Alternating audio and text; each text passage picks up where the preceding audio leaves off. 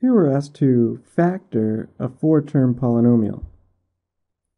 We'll do that by grouping. We'll group the first two terms and the second two terms. The GCF of the first two terms is x cubed.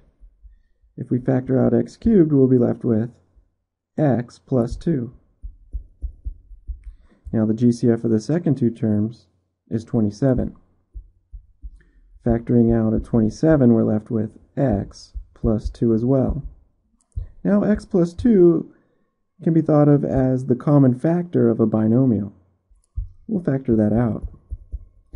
If we factor out x plus 2, we'll be left with x cubed plus 27.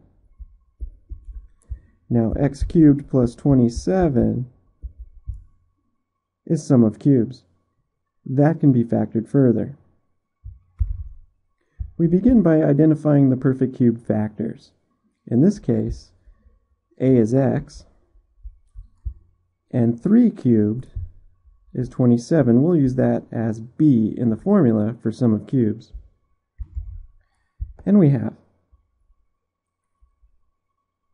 x plus 3 times x squared minus a times b, or 3x, plus b squared, 9.